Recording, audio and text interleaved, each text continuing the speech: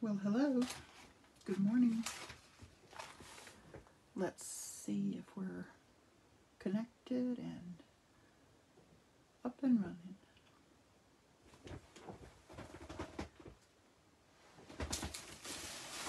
Mm, got to put my apron on this morning. There we are. We are live.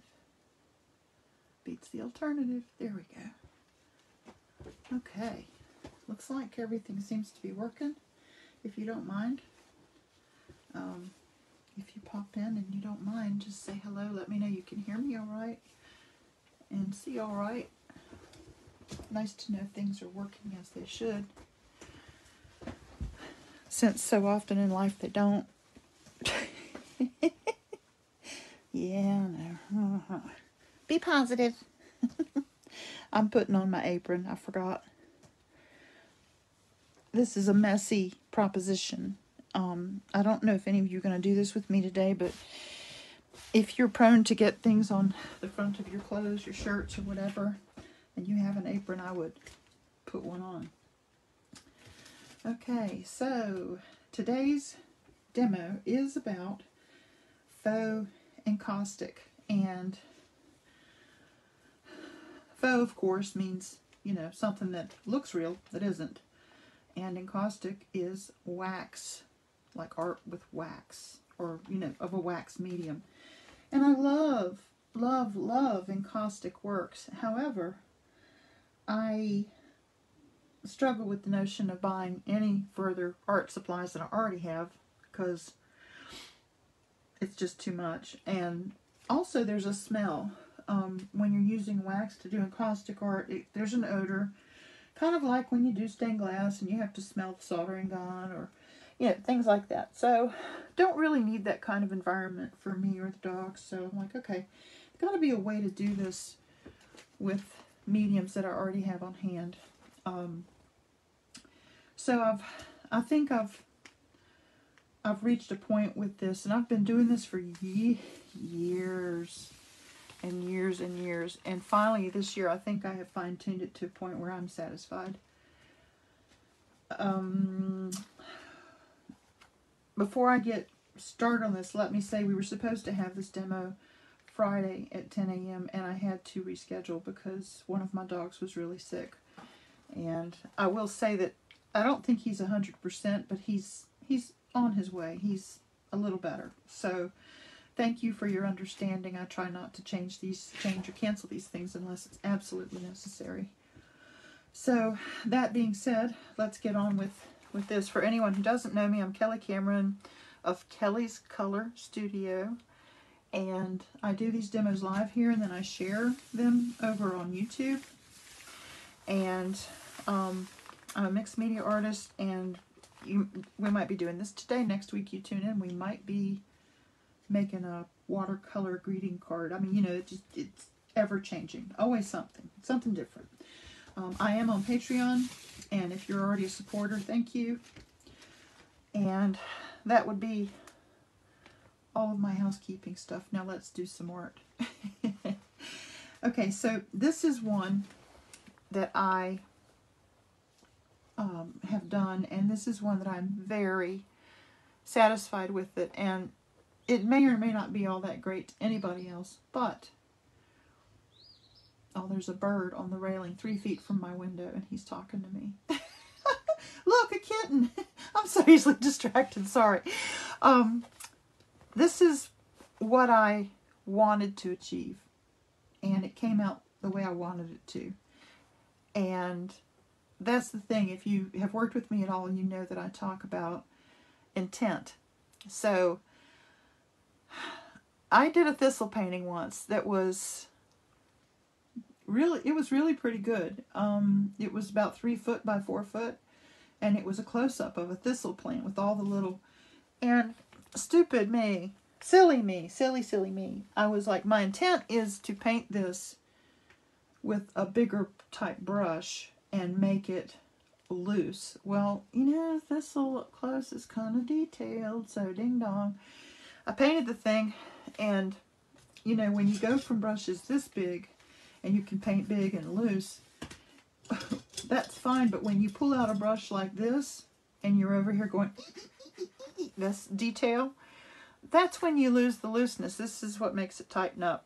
And I finished the painting, and it was beautiful, and it sold for a fair amount of money. And someone said, oh, don't you, I just love this. And I'm like, well, I don't really like it. I'm like, how can you not like it? I'm like, because it, I didn't meet my goal. My intent was to do a loose painting, and I completely lost it and went detailed. So, intent is huge. And, uh, you know, yeah, it was a painting, and yeah, it came out okay, but it's not what I wanted. It's not, that you know, it didn't meet my goal. So, this meets my intent, therefore I'm very happy. Even if artistically it doesn't appeal to anybody else, I achieved with this technique what I wanted to do. So let me kind of try to explain this a little bit to you. And what I'll do is hold it up. Hi, Carol. Good morning. How are ya? I'm going to hold this up close, closer to you, and I'm going to try to hold it still so that you can see, hopefully, hopefully, the depth and dimension in this. Um, I don't think my video is working. Let's see. Hang on. Here we go. Didn't hit play. Der. Sorry. One second. Mm, now it's got me back at the beginning. This is crazy, this thing. Okay. Now it's working. Okay. Okay. I got it. Okay, now I'm with you. Okay. Could I say okay one more time? Okay, okay, okay. Let's pull this back a little bit. Now, I hope you can see the depth. The horizontal stripes are um, sort of like a tie-dyed tissue paper that I did, and they were put down first. And then the subsequent layers were all done with a heavy gel medium. Tons and tons and tons and layers and layers and layers of gel medium, and then some detail with the Posca pen. And these marks right here were put down with colored pencil early in the game. And if you look at that closely, you can tell that there's they're sort of it's almost like the clear parts look like water and the orange and yellow parts are way down at the bottom you know and that's that's the impression that's what i'm looking for i'm wanting to create something with a soft milky effect and i want it to have uh, i want it to be the kind of thing that you want to reach out and touch because you're you're compelled to do so because the surface looks interesting and you can't tell what went first I see it's in layers, but I can't tell what came first. And that's the whole that's the whole thing. So that's my that's my deal, that's my goal. That's that's my intent with the whole thing. So this one was what I set out to do as a sample piece. My goal is to do stuff like this on really big canvases that I have already. And I and you guys have seen all these things I've been making over time. These things, these crazy, crazy things.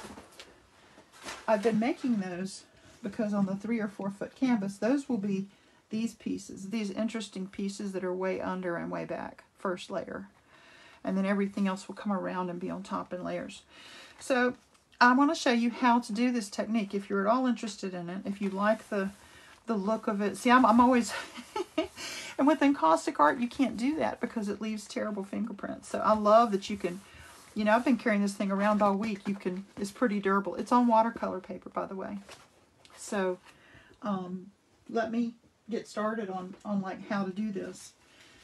Oh, let's see. This is just paper for underneath. Okay. Here's, um, if you've been with me, you know that I've been making, um, or I've been taking bleeding tissue paper, like this, right? And I've been stacking colors together and making sort of tie-dye paper like this. So you stack them and wet them and um, Carol, I'll answer that in just a second. Um, so I went from solid paper to tie-dyed paper, and then I've painted and drawn and decorated this paper, and I have used it in my collages, and I'm very, very happy with the way these look because they're one of a kind. There's no there's no duplicates. And I have made I have this catalog here of papers that I've made that I've I haven't made, I say made, that I've painted on and, and decorated and all with acrylic paints and um, markers and a chrome marker. Um, and these get torn and used, cut or torn and used in any or all of these uh, collages that I do. And there's one in here I really want to show you. Made it the other day, and I just absolutely love it. Let's see. Here it is. Look at this. Isn't that fun? To me, the silver around here looks like wire almost. I don't know if you can see that. But anyway, yep, just me having fun. And of course I have them arranged by color. That's how my stupid mind works. and yeah, I'll decorate any any scrap of paper. It doesn't have to be a square or a rectangle. It's it's just me going, yeah, let's do that. Um, this one's cute too. I need to do this on bigger paper. It's just a, a fraction of a piece of paper, but I just painted a big, really big circle on it and did little silver dots. And it's to me, it's, that's really fun. That'll be great somewhere. So Carol says, I missed it. Is the white milk glass white the paper? Beautiful. Um, is the white milk glass white? Let me, whoops, let me put these in there too. This is a whole nother thing. a whole nother demo. Um, are you talking about, I'm trying to understand your question, Carol. Are you talking about this painting still? Are you talking about, are you asking if this is the, the paper showing through? I'm not exactly clear on your question. Or were you talking about this? And then there's that delay. She'll come up in just a second and tell me what she means. This, okay. Uh, yes, this is the paper, and I was sort of headed that way. What I've done is um, I use 11 by 15 watercolor paper, okay? And I'll tear off a sheet and cut it in half this way, typically. Now, I do use the big sheets too, but for today's demo, that's what these are, our papers cut in half. And this one is just a piece of that paper, and all I've done, this is the first thing you do, is I'm using Liquitex Matte Super Heavy Gel. Okay, it's a matte finish. It's super heavy. It is really, really thick. And to give you some idea of what all I've been doing, this was new about a week ago. I've used that much. So it's pretty addictive and lots of fun. So anyway, all I did was I used the back of a spatula, scooped out some of this stuff, put it on here, and then took this little thing, this Betty Crocker cake froster, and let me make room. And then I actually just did like this.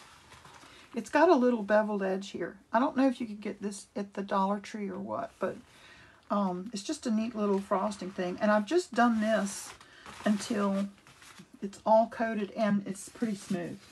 I don't put it on with the brush because that leaves brush marks and I want it to be as smooth as possible to look like it's encaustic. Um, and when as you're doing this, what you'll see, the problem is, or the challenging part about it is, these corners, well, there's there's often blank paper here that's not touched in these corners.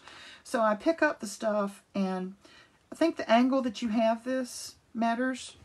Um, but I pick it up and I try again to make sure my edges, I'm going over the edges, outside the edges, like this. So this paper takes a beating and I'll show you, I've got three layers of paper here. So when I show you, I'm going to pull it off. So um, I'm going to actually do that in a few minutes and show you. So here's here's one that it's, um, there's no paint involved in this. I made notes on the back so I could remember to tell you. There's no paint on this. Um, this one, when I did it, I took, let me find it. I had some Liquitex, um, these little things of paint, and I'm trying to use up, and this is unbleached titanium, so it's paint this this color beige. And I mix that with my white acrylic paint, and then maybe three parts this mixed it all up on a palette with a palette knife, and then put that on. And that gives it this creamy, off-white kind of look. And that's the, it's an encaustic look. That's, to me, that's the way I remember most encaustics looking. They have this beeswax kind of color, this little, you know, creamy. I haven't seen that much encaustic work, but all that I have seen kind of had this, and I think that really lends itself to looking like encaustic. So, see the difference. excuse me, this is really white because I only put the clear stuff on. And this is sort of a creamy color. And um, I can show you uh, how to do this if you want on, on this. Or we can keep rolling either way. Uh, let me see. Do you want to see how to put the, how to make it like beige with the stuff and everything. With the stuff, real technical here, with the stuff and everything. oh my god, this is like, really? Could you be any less technical?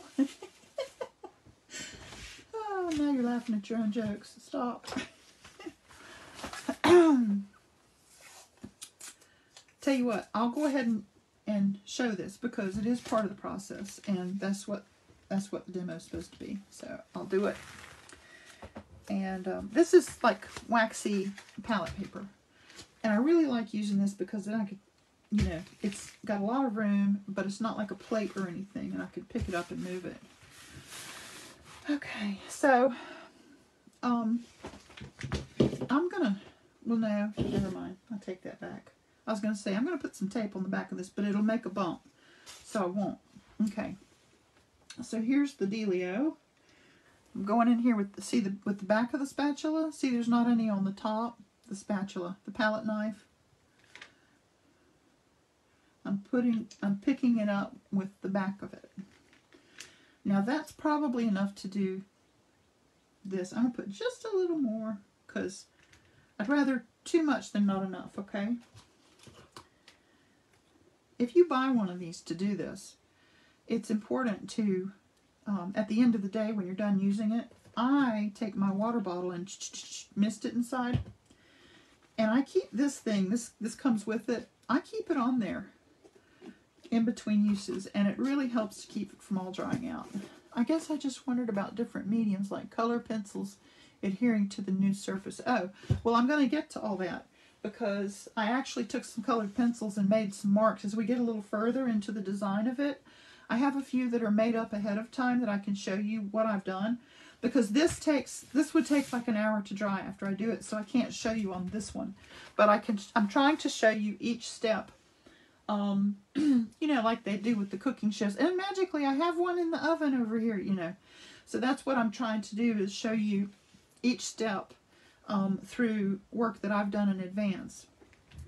And I just want you to see here about about how much paint I use to mix together with the gel medium to make the paper look sort of encaustic, which is, if anyone's just popped in, it's a waxy look. So there's my unbleached titanium, and this is my titanium white. Um, the, the gel medium dries clear, okay, the matte super heavy gel. It dries clear, this stuff and I um I don't want to put so much paint in there that this is not um, transparent. I want this to be, you know, I want this to still be able to dry clear. So what I'm going to do is now, and I like, this is why I have this big paper here because this is letting me have room to work. I'm picking up the paint, I'm going to mix the paint. Here comes the white. Just going to bring it all over here. You see how nice this is because there's no edge. Like a pan or plate has an edge and you have to, this is really nice. So I can mix this stuff. I'm still only using the back of my palette knife. See, there's nothing on the front. No waste, nothing to clean up really.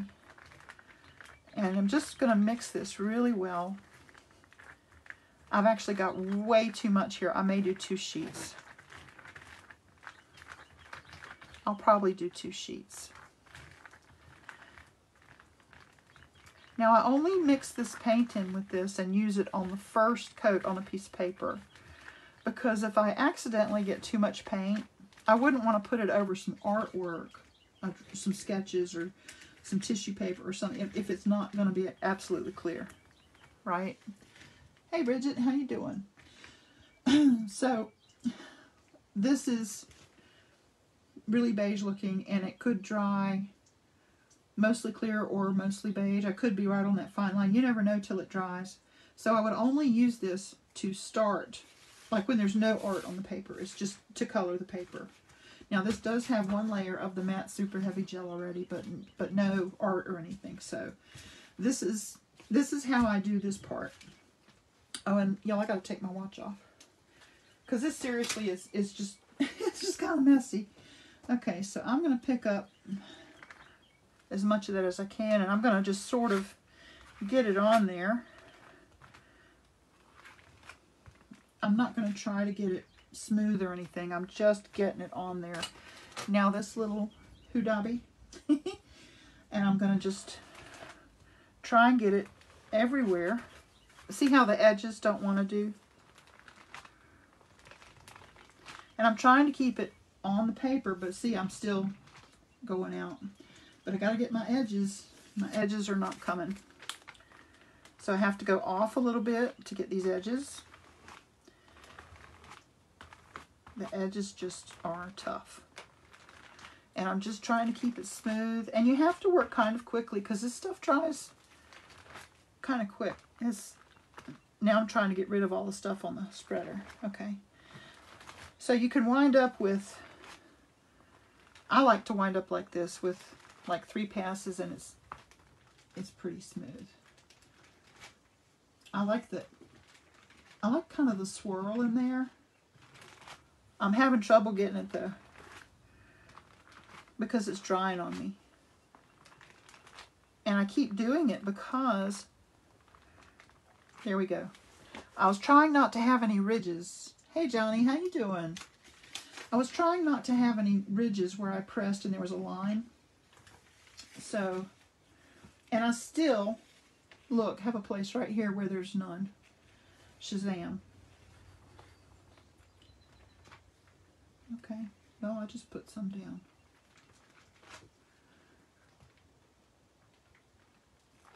It's, you know, you're not going to get perfection, so don't try.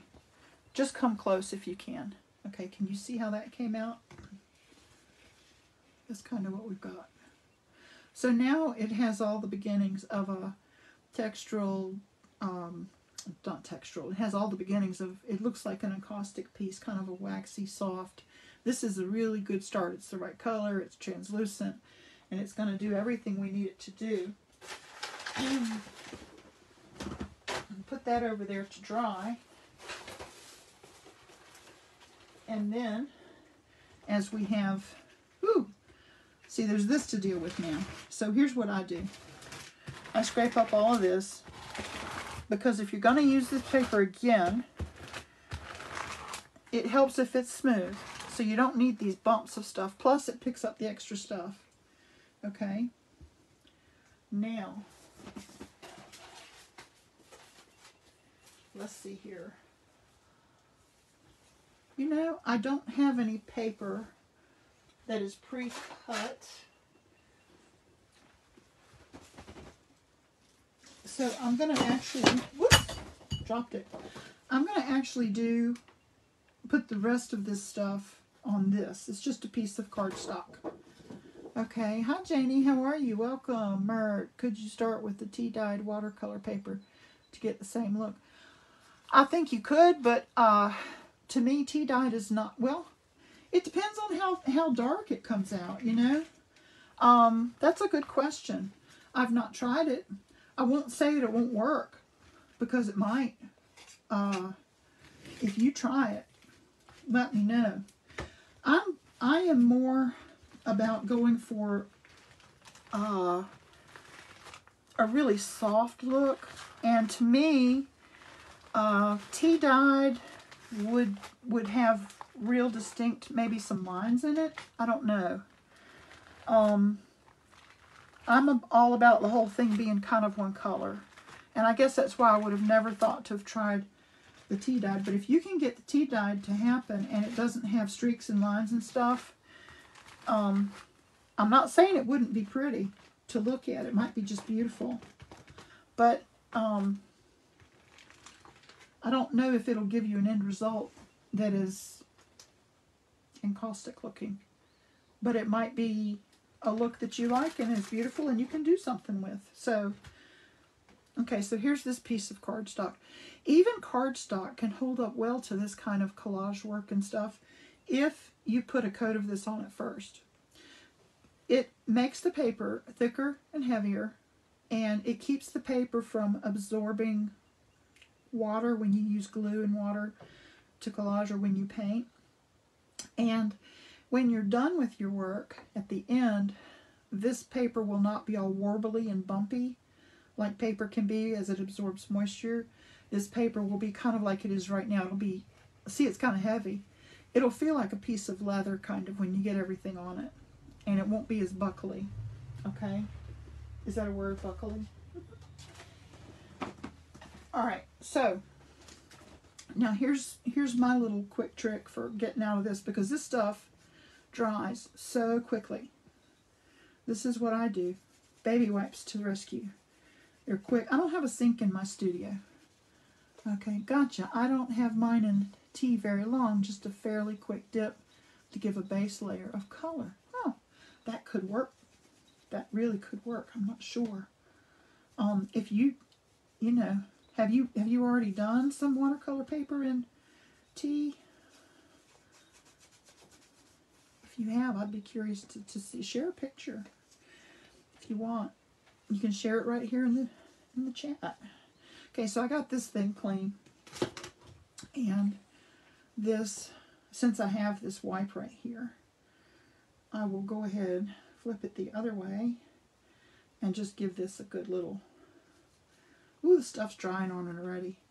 I'm sort of funny about my, my tools. I really like my stuff to be I like to take care of it. I like it to be clean the next time I pick it up.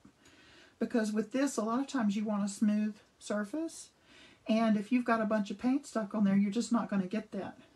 So I'll wipe it and then put it in the water there. And this, um, I like to reuse if I can. And there's no reason I can't reuse this palette later. Well, except I just got stuff all over the back of it. oh my gosh such a mess. Okay, so anyway, anyway, so I'm going to pull this up, move it to the side. I'm going to show y'all my, this, when I know I'm going to do this kind of work, whoops, here's what I do.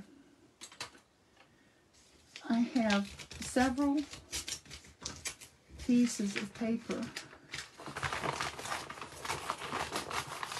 And you know, do you recognize this paper? This is the paper that comes with, you know, stuff from Amazon or whatever.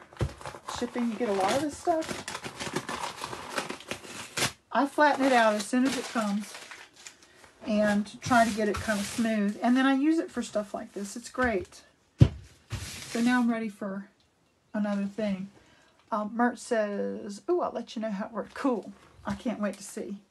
It's for anyone who's just popping in, we're using matte super heavy gel and watercolor paper and we're, we're pursuing uh, like abstract type stuff And we want the end result to be like a faux encaustic.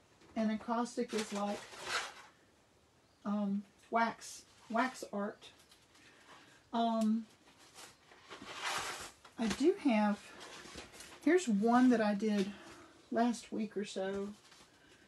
and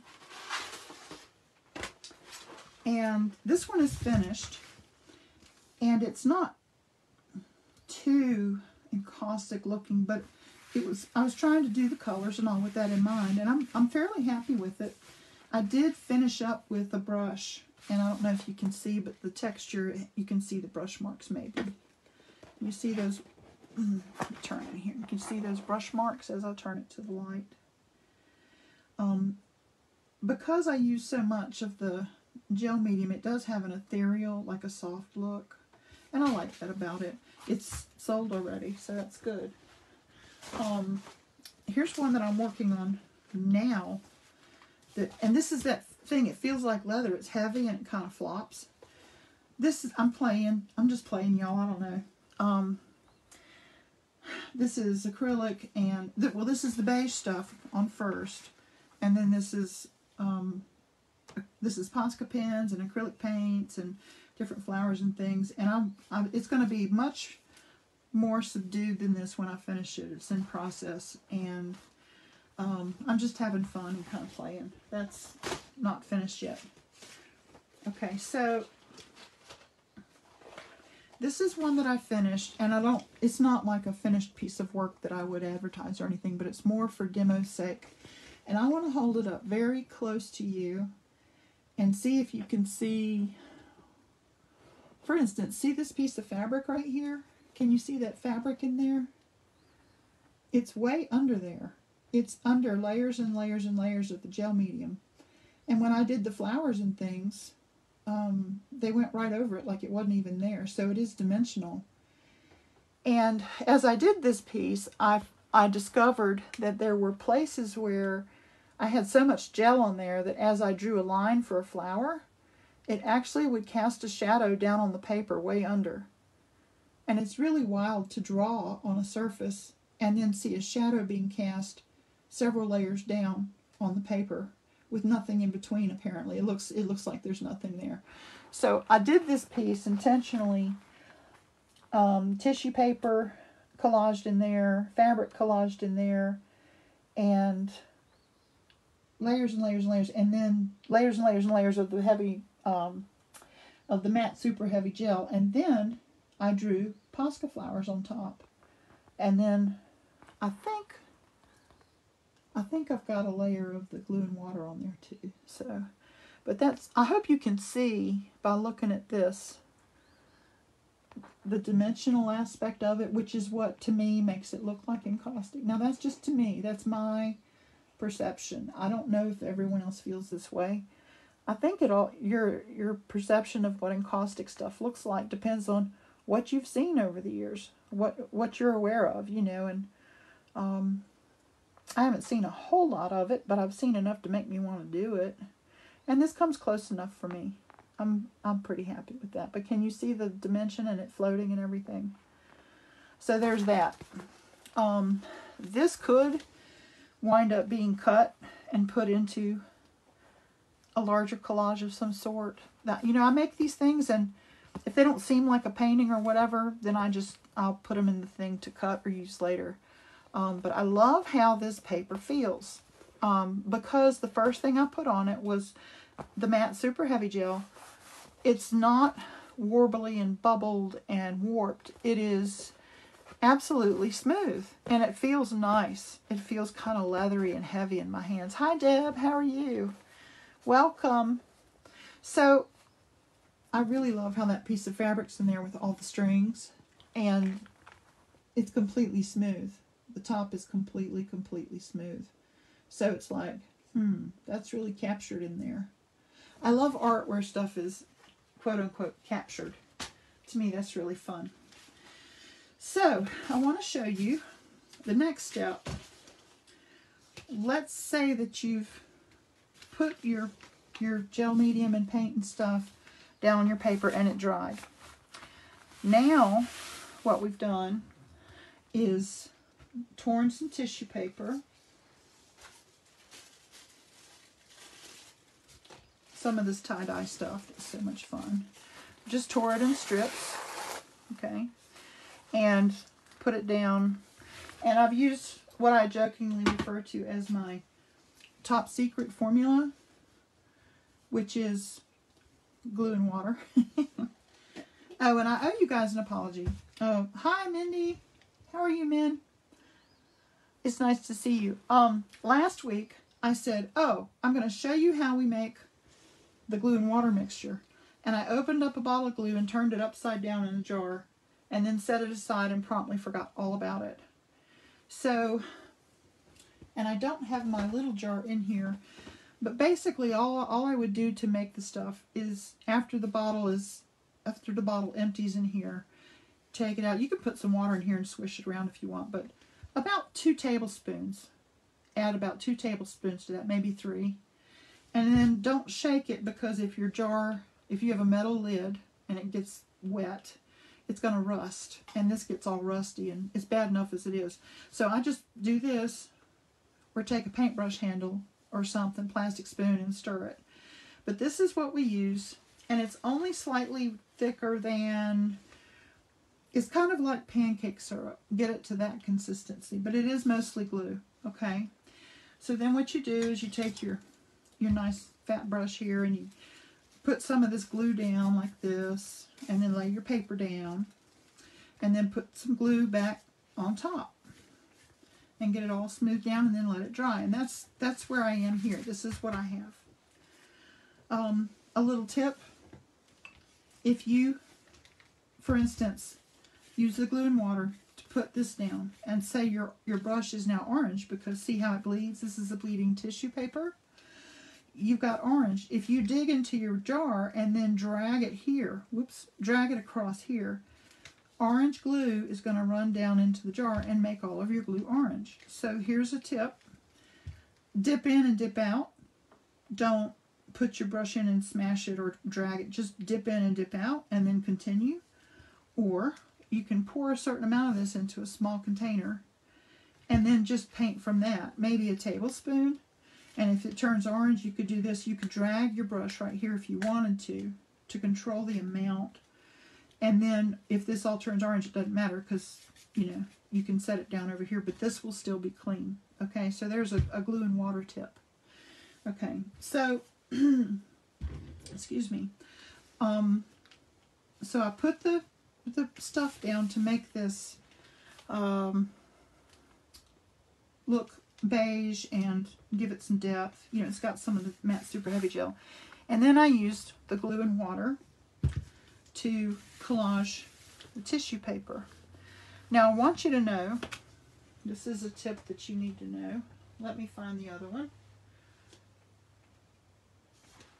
There's so much going on here. I've got all these pieces laying around and they're some are wet and some are dry and um and I can't find the one that I want to talk to you about. Good grief. Here it is. It was on the bottom.